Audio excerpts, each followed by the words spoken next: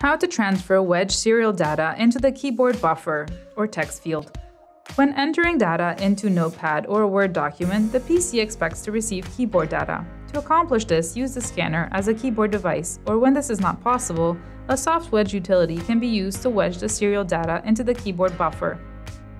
Depending on the scanner model and cable, it might not be possible to configure the scanner to be used as a keyboard device. This is possible for all scanners using a USB interface. Refer to the user guide to configure the scanner for the USB keyboard. For a scanner connected to the RS232 interface or when using COM port emulation, a soft wedge utility needs to be installed. The soft wedge utility will wedge the data from the serial port to the keyboard buffer.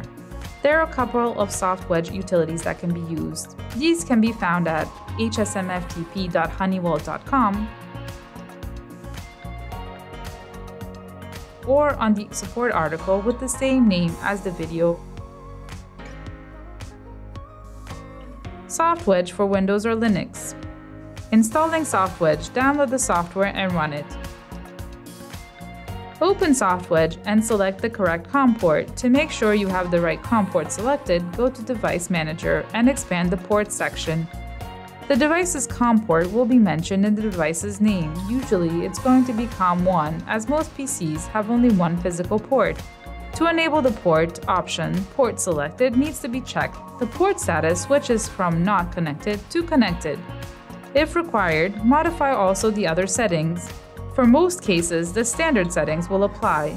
Exit the SoftWedge Manager by pressing the OK button.